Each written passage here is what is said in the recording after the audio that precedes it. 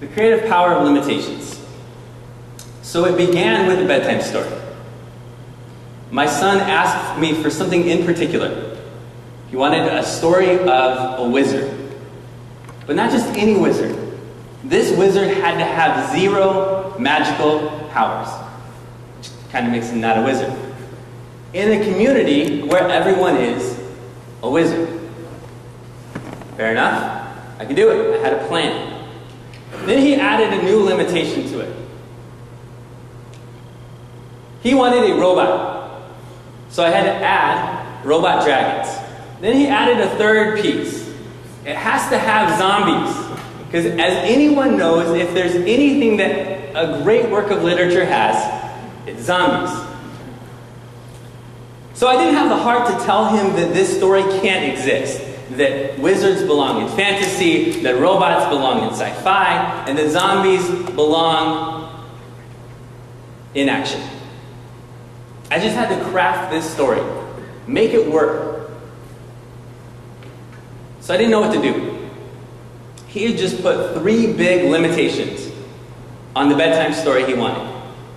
So naturally, when I don't know what to do, I talk to my wife. And we started planning out this concept of a story. If Wendell, who is a wizard with no magical powers, is going to save the world, what is he going to do? What is his power going to be? If he can't conjure up a word, a world made up of words, he's going to make that world with his hands.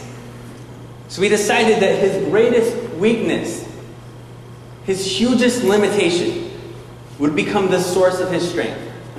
That's where he would be creative. So we told the story of Wendell, the world's worst wizard, who, by the way, we made sure the zombies are in there, the robots are in there, but how he saved the world without any magical powers. And we landed on this idea that the real magic was creativity. But it blew up. Suddenly, classes were using it as a read aloud. Suddenly, we had Wendell tweeting back and forth with classrooms as the protagonist. And as you can see in that picture right there, one class even threw a Wendell themed party. Because up in Canada, they don't spend their party time getting ready for standardized tests, which is what we do. And I think a piece of where the story worked was something my son knew intuitively, which is that creativity happens in the most unlikely places. That magic is all around you, that magic of creativity. That there is no such thing as creative people. And that limitations are often a source for our creative uh, passion and creative work. But it was mind blowing for me. Again, figuratively, not literally. Um, because creativity wasn't supposed to look like this. The way this worked is I had a limited audience, three kids, who all wanted a good story and were not afraid to tell me if it wasn't any good. I also had a limited time frame. I better have a chapter ready each night. And I also had a limited process. And that limited process was a combination of fitting things into the narrative story arc, but it was also the process for the first time ever of doing a creative work with another person, which was my wife. And not always having my way in the best way possible. So, I landed on this idea that limitations are oftentimes the source for creative work. See, I'd always believe that create, creativity begins with freedom, space, and opportunity. It's a blank canvas, it's an open space. The creative people are the ones who go out far away and do something different. And sometimes that's true. Sometimes the creative work begins with a blank canvas. But sometimes it's totally different.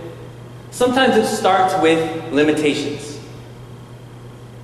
with being told that that can't be done that way, so you better figure out a new way to do it. I noticed this trend uh, in working with another creative project. My students could not publish globally in a way that was authentic.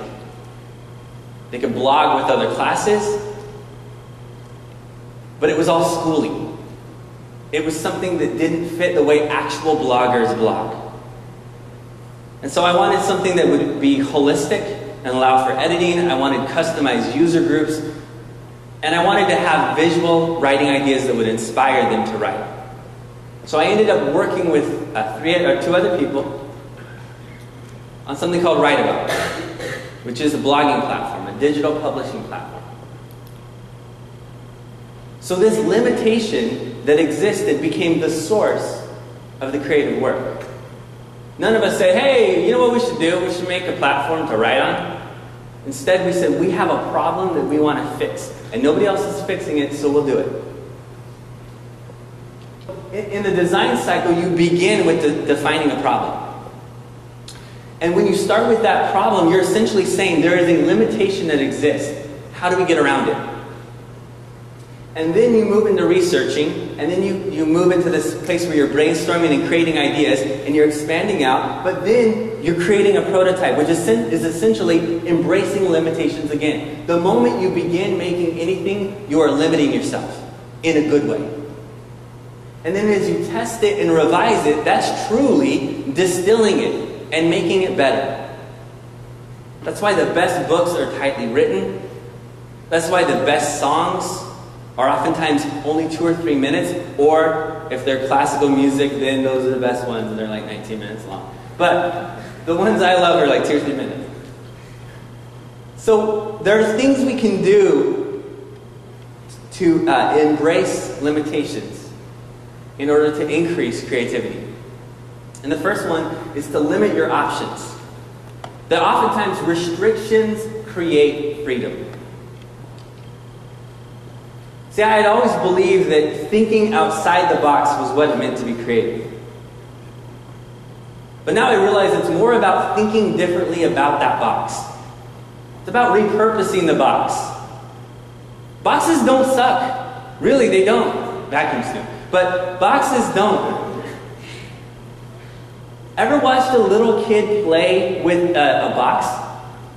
It becomes an instrument, it becomes a fort. If it's a, a refrigerator box, it becomes a, a, vehicle. Boxes are the source of all kinds of creativity with kids. I mean, there's even a video game out right now that's essentially let's build stuff with blocks. And that's Minecraft. So boxes aren't horrible. It's thinking differently about the box. In other words, sometimes creativity is less about being Picasso and more about being MacGyver.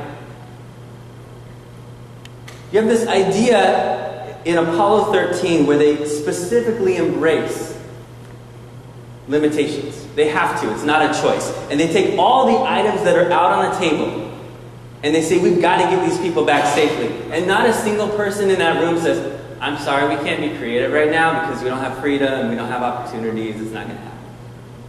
The limitations push them to be creative. And you see people voluntarily embracing limitations. Chefs do this, where they say, we're going to choose five random items. And from that, we're going to create a dish that has never existed before. So you end up with things like bacon covered cupcakes. You have the same idea in baseball stadiums. For years, they were building the ultimate baseball stadiums, the Astrodome, and it was, it was modern, it was futuristic, and it was built way out in the middle of nowhere. And then suddenly they said, maybe maybe the limitations that exist will make these baseball stadiums better.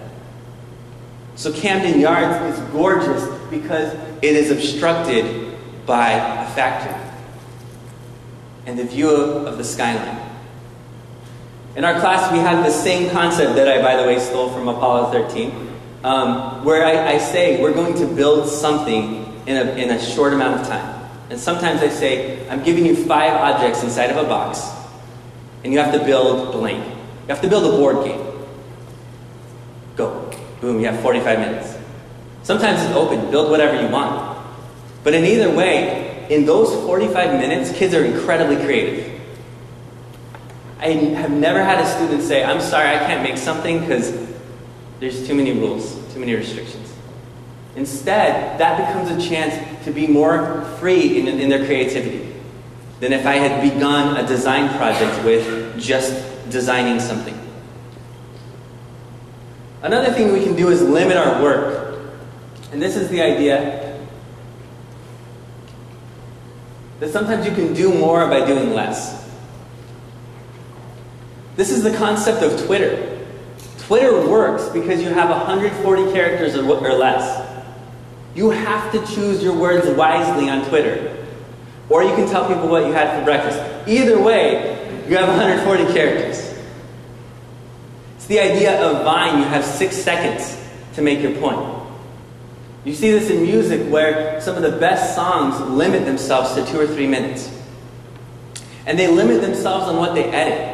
The sound engineers could add a ton of effects. Everybody could sound like T-Pain, but they don't have to. Because instead, they allow the natural voice to be there. They don't over-edit it. And I think a lot of times kids struggle with this concept of the art of doing less, the art of taking things out. And school isn't designed this way. When I was in school, it was you have 40 math problems you have to do in this amount of time. We're going to time you. That's how much you have to do. It was about how much you got done. You have a five paragraph essay, you have to do it. It's got to be five paragraphs. What if I could say it more concisely? Too bad. It's five paragraphs. And so students grow up with this idea that part of being creative is just doing a whole lot. And they don't learn the art of taking things out, the art of purposeful limitations. Another thing we can do is limit our schedule. And this is a very uncool idea. But it's that routines and deadlines create spontaneity. That if you see people who do creative work, they are oftentimes incredibly structured with their time. See, I used to believe that this is where epiphanies happen. Go up to the mountaintop, you get clarity, and, and you have this great, amazing epiphany. And then I realized that every time that I actually bothered to climb a mountain, is pretty rare, and I reached the very top, all I could think about was this is a place where great ideas would probably happen. Like I never had great ideas there. But instead, I had great ideas all the time. Well, not all the time, but enough. Some of the best ideas I had came from the times when I was driving or taking a shower. I was in a place of relaxation. I was in a place of routine. That's where the great ideas came from. It's very uncool. It's very like, like oh, what, what, what inspired you to do blank? You're like, I was driving and there was traffic. And then I just thought, well, maybe, oh, I'll make, maybe we should do a, a publishing platform. Like, that's the origin of that idea. And it's the idea that routines and deadlines are what allow you to be prolific. That being prolific is just doing more and staying focused. And that that's a part of creativity. This is why I think it's important that kids learn the art of project management. The more you can manage your time and tasks and break them down, the more you can limit your personal freedom on your creative work, the more creative you end up being. Another idea is that you can limit your audience, and this is the idea that sometimes a limited audience becomes a global audience. I found this out when I was writing the story with my wife. We wrote for three kids, and it connected with a bigger audience. Because, see, what happens is if you write for a big, global, huge audience, you don't take risks. You get afraid. You start worrying about what everybody thinks. But if you write something, or create something, or paint something, or make a song for one person, chances are that will be something unique and special, and therefore worth paying attention to. And a bigger audience is attracted to that.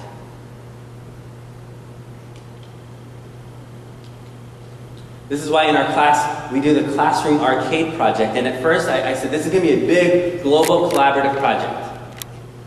We're going to make uh, video games on Scratch, and what's going to happen is uh, we're going to connect with the entire world, and then all together we're going to look at it and, uh, and, and, and, you know, collaborate, and it's going to be amazing. And kids said, could we just make it for our, our neighbors? So we turned the classroom into an arcade. That was the audience.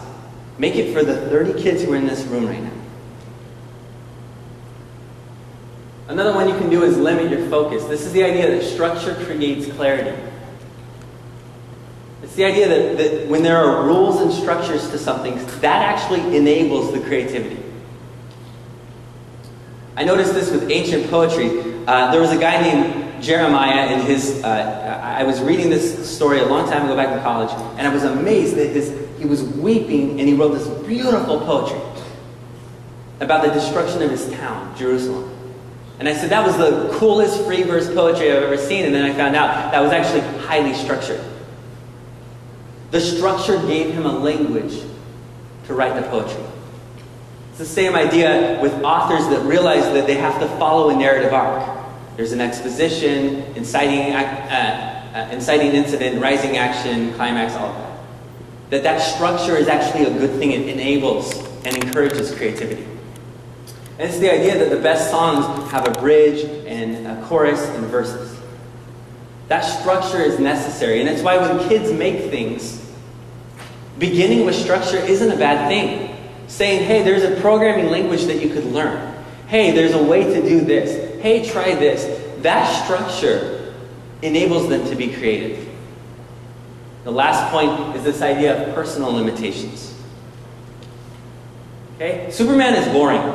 He is the most boring superhero ever. He can fly, he can see through things, he can see through things while he flies, and yet he never gets in an accident as a result, and he is just a boring superhero. But I contrast that to Daredevil, who is limited by his blindness and then saves the world. Or Hell's, uh, Hell's Kitchen? Is that what it's called? Yeah, there you go. Thanks for a second, I just was like stuck on hell, and then I was like, he didn't say hell. Um, so it's the idea that, that, he is one of the most creative superheroes because he doesn't have superpowers. And Bruce Wayne is creative because he uses gadgets in creative ways. But Superman doesn't have to, never has to be creative because he has no personal limitations that allow him to, to be creative. And this is because you find a way to do things differently when you're faced with personal limitations. Now, that's not always true. I don't want to be flippant about personal limitations. The truth is, it's really hard to face personal limitations. But I see this all the time with my students. We're low income, mostly ELL. Kids come in not speaking English. And yet, because they learned the language differently, they see the language differently. And when I see some of what they've written when they come back in college, when I have a student who says, Hey, I'm an English teacher now, and I'm a writer, check this out. And I remember when that student came to America only speaking Spanish, it's like magic. That limitation allowed them to appreciate the language and therefore speak it in a way that no one else is doing. It pushed them to be creative. And that's the idea. There are times where freedom and choice and all of that are necessary for creativity, but sometimes the source of creativity is a limitation.